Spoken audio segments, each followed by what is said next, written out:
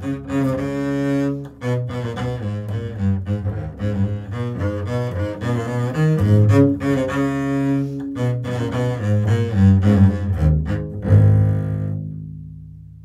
this is just one example of a Baroque bass.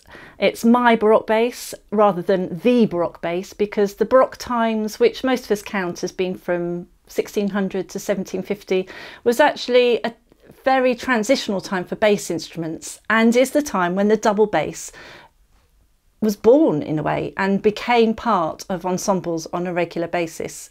No pun intended, sorry about that. The range of them might go to about the depth the cello goes to these days or just slightly lower. So one tuning goes to an A, which is here. The lowest string on a cello is about here. And there are other examples of tunings from other parts of Europe that went a whole octave lower than the cello. So from here, from the cello, it went down to a B, A, or a G might be in the lowest note, or an F, or an E, or a D, which is where my instrument stops. But there are other records of instruments going down to a C below that, a whole octave lower than a cello. What we do know is that, say, for example, in France, the bass, the double bass, wasn't known until 1700. And there's records of Monteclair, who was a bass player with the French Paris Opera, bringing a double bass over from Italy and using it for the first time in Paris Opera, where it was used for storms, demons, magicians, and choruses. Depending on what country, what city you were in, you had different bass instruments. They might have three strings, four strings, five strings, six strings, some of them. They, some of them are described as being human size, but then how big were humans in those days? Um, some of them were smaller. Now this bass I feel very lucky to have it, is an Italian instrument and it is an old Italian instrument. At one point it was thought to be made in 1600. That's been revised by repairers since and the latest information I have is that it could have been made in the end of the 1600s. So very late 17th century instrument and you can see from the look of it that there are lots of repairs to the body. It's had lots of cracks along the way but on a double bass, we manage to survive with those. Somehow the sound is okay, whereas on a smaller instrument like a violin, that might be disaster. I mean, I don't know if you can pick out the detail, but here you can even see a sort of arrow shape. You can see how a bit of wood has been inserted. I don't know if violins could cope with that, but double basses somehow do. One, this is smaller, I don't know many of my modern bass colleagues that would consider this a big enough instrument for a modern orchestra. As, as orchestras and other ensembles have developed, you know, just think of pop bands, the main emphasis on development has been greater projection, greater volume, being able to reach more people at once in bigger venues and being able to impress people. There's, there's something really impressive about the feeling of sound as well as the sound of sound. And you really get that with a double bass. Quite often when we take them into schools, especially with children who might have um, hearing impairment, um, we ask them to put their hands on the bass. You really feel the vibrations. You often feel them through the floor. So although the pitch of a double bass is quite low and might be outside some people's natural, comfortable hearing range in terms of pitch, you can feel it. It adds a feeling and a depth and a colour to an ensemble. So it is smaller. The other difference is the fingerboard is shorter. So there is no solo repertoire for Baroque double bass, or certainly none that I have found. It is not a solo instrument. We rarely have to play anything that goes higher than this part of the instrument. So we don't need a long fingerboard for playing high harmonics and whizzing around. We just don't need it. Instead of the nice shiny metal, what you can probably see is that they look quite a dull brown colour. And you might see how they're twisted. So they do actually look like string. And that's because that's how they're made. It is made of sheep gut that is twisted and twisted and stretched and washed, of course, um, to make strings. That's what they would have had in the Baroque times. That's what they would have played on. And so that's what we do as well to recreate the sound that we might have heard in the Baroque world. Um, there's a wonderful description of how gut strings are made on the um, Gamut website, Daniel Larson, who makes strings, um, has gone into quite a lot of detail. So don't read it over your lunch because it could make you feel a bit ill. But he's also included a lovely chart of how many guts go into a string. And uh, he has said that it could be that up to 32 sheep were needed to make this string. Another string maker, Nick Baldock, who works in Germany, has said a whole hillside of sheep goes into making the bottom string, one as thick as this. So obviously you need more sheep, you need more space, you need more wood to make double basses. So perhaps there weren't so many around and they're not as easy to experiment with as maybe smaller instruments are.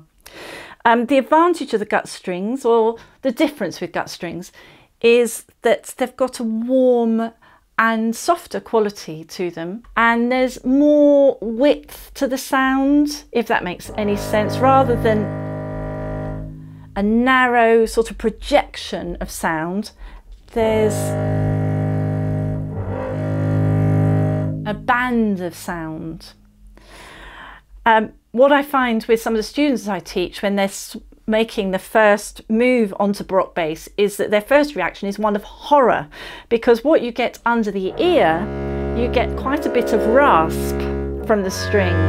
You don't get an even smooth tone that you get from well-made modern strings.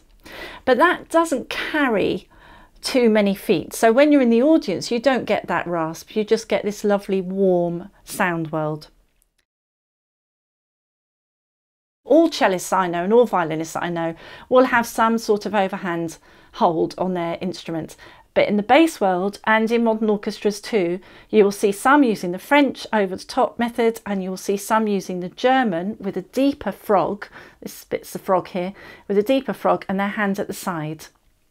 And each will argue that theirs is best, but that's, that's for another time. So what you see on this bow is that compared to a modern bow, the tip is narrower and therefore lighter. There's less wood. So this is the heavier end and this is the lighter end. And that means that it's easier to play stronger at this end and quieter at this end. I'm exaggerating for effect, of course.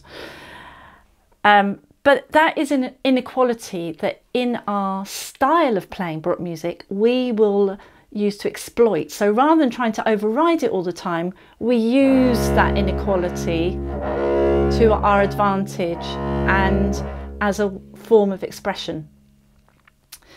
Uh, the other thing on a modern bow you'll see is a metal band holding the hair flat and that helps keep the hair taut and it helps you give more of an attack at the start of your note.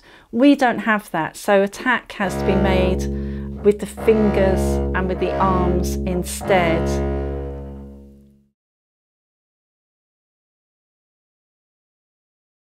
One of the first pieces where there's actually a line written for the violone as opposed to general bass, it's written for the contrabass, is in a piece, um, an opera by Marais, and it is for a storm. So where you would have the cellos playing this, what you get is the contrabass adding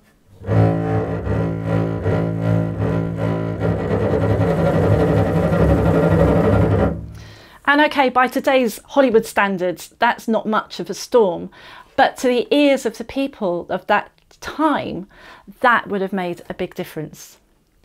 Um, it brings gravitas to choruses and what you find in some choruses, especially um, in Handel and maybe some later Bach, um, I'll play a bit from the B minor Mass, is that the contrabass or the violone is added when the bass singers sing. So not with the tenors, we leave that to the cellos or the violas, but when the bass comes in, then they join. So you might have this with the tenors.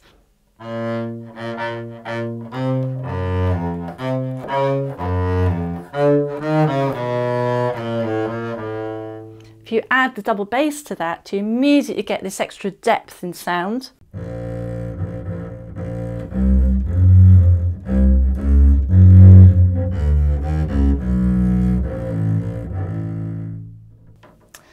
Beginning of the Matthew Passion, for example, is one of my favourite bass lines. I'm I'm a simple soul and I really love pedal notes on a double bass. So the beginning of the Matthew Passion is a great example of the gravitas that you get of adding 16 foot to a pedal.